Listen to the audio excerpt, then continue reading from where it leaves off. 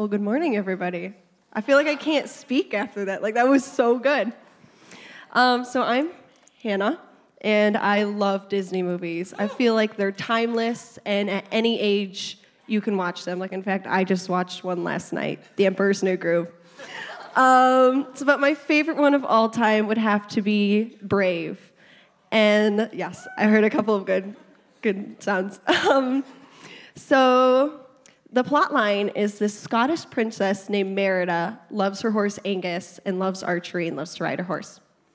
And there's a contest of like the neighboring kingdoms to see who will win her hand in marriage. And she has a first class fit. I don't blame her. She wants to slay her own dragons and she doesn't need somebody to do the work for her.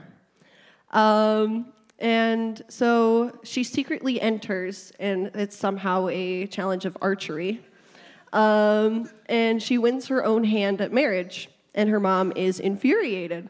Don't blame her. Um, so she runs off with her horse Angus and discovers a witch in the woods who promises to change her fate. Reasonably enough, she buys a magical cake from this prin- or this witch and gives it to her mom, and it turns her into a bear. Very realistic. Um, but I have like a connection with Merida. I love horses. She loves horses. She's a Spitfire redhead. I'm a Spitfire redhead. I'm a tomboy. She's a tomboy. And although it's a Disney movie, it has a really deep meaning. Merida thought she could do life on her own, like I did. Now, I went to Gates Middle School, and some of you may have had really good middle school careers. I did not. Um, I was kind of the square peg in the round hole, the weird ginger girl the um, people weren't really the nicest to me, and I didn't quite fit in.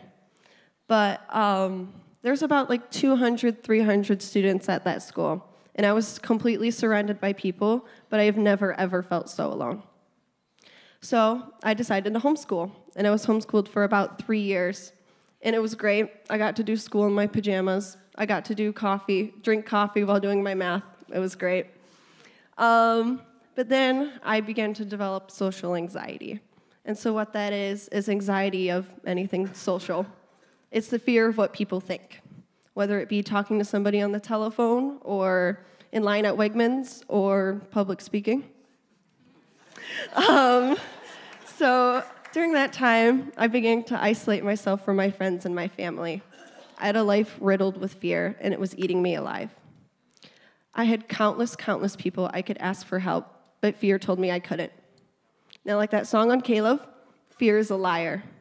Fear told me I was worthless, and I was in this alone. Anxiety is not a battle you can wage by yourself. Fear whispers lies about us until we believe them. Now, Joshua 1 9 says, Have I not commanded you? Be strong and courageous. Do not be afraid and do not be discouraged, for the Lord your God will be with you wherever you go. Now, this is probably one of my favorite verses in the whole entire Bible. Um, it reminds me that God commands us to be courageous, and He will be with us wherever we go, wherever we literally are, or wherever we are in life. Um, my parents say this saying to me courage is not doing things without fear, it is doing things in spite of fear. And God never ever promised an easygoing, smooth sailing, fear free life, but He did promise us a each a community of people to uplift us. And last year, God called me to go to North Star Christian Academy, yet another school. I was petrified. But God made it clear that He had a plan much better than mine. And I did the whole courage despite being scared thing, and I jumped head in. During that transition, God showed me that I wasn't alone in this. My friends and family supported me like always, and it was really great. God combated those lies the enemy whispered by whispering lies, by whispering truth to me. Um, so now I'm at my first year of North Star Christian Academy, and I love it. I feel like I belong and I have a place. I've met so many new people, but it was not easy at first. I'm gonna humble myself a little bit. Um, I cried in the bathroom the first entire week of school, and I sat alone the first two days. But it wasn't until one of my good friends, Julia, decided that I was cool enough to sit with her. I did not win the battle against fear by myself. Jesus is the hero of my story, and he will always be.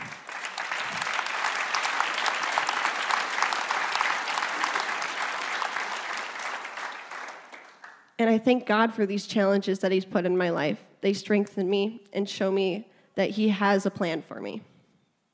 And I'm surrounded by people who love and care for me.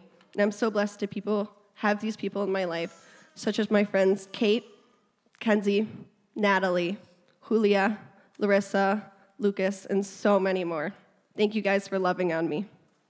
And thank you to my youth leaders over the years, such as Emily, Alexi, Mama Alquist, Janelle, Sarah, and so many more. You guys voluntarily work with teenagers, which you have to be crazy to do that. So thank you guys.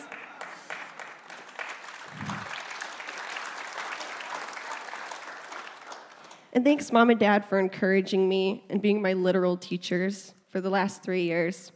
I still have some missing homework assignments. and one point you need to walk away with you are a warrior, not a worrier. Fear does not own you. You are a child of God. Thank you.